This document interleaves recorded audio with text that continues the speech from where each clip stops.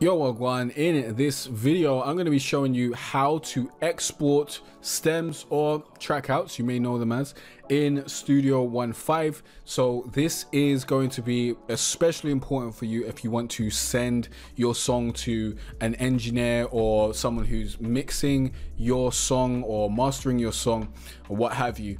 And yeah, if you want to send your song to someone else, you probably need stems, yeah?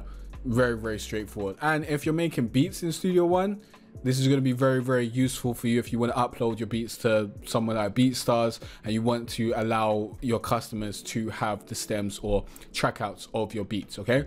Now if you don't know who i am i'm jay cartere from jaycartere.com teaching you how to be better at music online business and online marketing. This is the number one spot for musicians and creatives that don't want to be starving eyes so if that sounds like you click on that subscribe button check out the rest of the content on the channel because you will love it here guaranteed. Now my question of the day is what are you doing doing in Studio One? Are you producing or are you recording songs? Let me know because I use Studio One to record songs. So I don't know if there are people who are just out here using Studio One to produce, but it does look like it has some great production features that honestly I haven't used at all. So it'll be very interesting to see how people use Studio One from a producing mindset. So this is going to be a very, very straightforward, very, very easy video. Okay. All you need to know in order to export your stems or your trackouts in Studio One is you need to go to song up here on the top left then you want to go to export stems that's where it is and then here you can actually choose the channels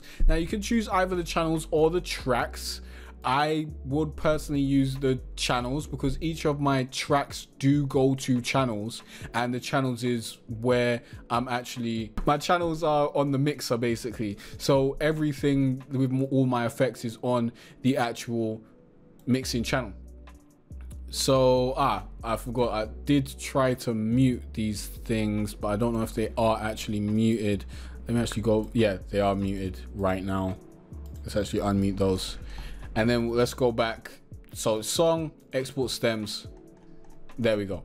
Now nothing's unmuted and we can just select or select all select active select none and all that sort of stuff great stuff. Generally you're going to want to select all yeah? And honestly with our beat track because we're not using that we want to select active because we have the stems of my actual beat track over here.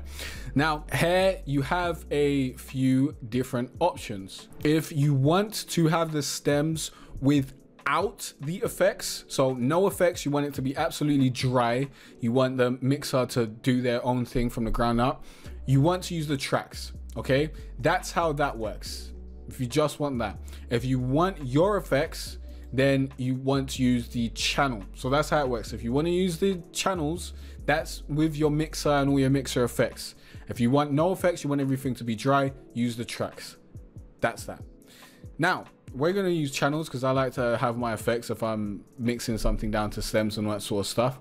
Resolution, I would say move it to 24 bit. There's really no reason to have it on 16 bit and have it in WAV. Then we can change the name of the, you know, file name prefix let's change this to 100 stems. Then we can pick a place to actually place this and I will actually bounce this out because this is really the first time I'm actually bouncing some stems because I don't send my songs to anyone else. I just mix them myself. So this is going to be interesting. Let's just create a new folder. Like there's no point going through my folders and doing all that sort of long stuff. So let's do this we're to choose our Studio One stems folder. I would generally actually create a folder for this particular song. I don't know if it automatically does that, but let's see.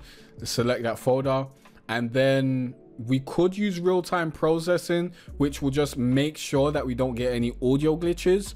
But a lot of the time you won't get audio glitches even if you don't use real-time processing. So we're just going to do it without real-time processing because we're not actually going to use this and it's just going to save us some time. So let's go to okay right about now.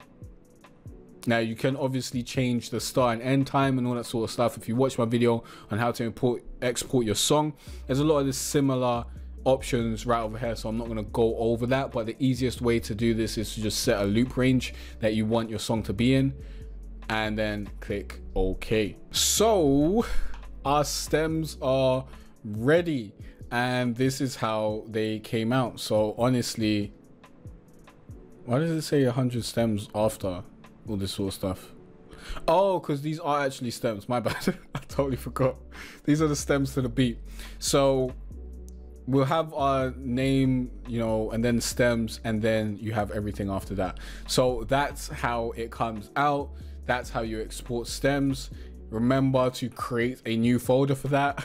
Otherwise you're just gonna have a bunch of stems just sitting around. But that's how it's done. If you want your vocals to be half mixed before you even get to the mixing stage grab my spotify ready vocal mixing template. Link down below. Go to jaycartere.com forward slash vocal templates. That's going to help you out a lot. It also comes with my pdf that shows you all the settings that i use to mix my songs. So you can use this pdf and use my same settings even if you don't want to use the same plugins that i use but i do suggest using the same plugins because they will give you a different sound okay and honestly i like the sound that these plugins give me so you might want to use those as well. Now if you got any questions or any other tutorials you want me to make please let me know in the comment section down below. And i'll see you in the next video where you'll learn more about music online business and online marketing. Peace out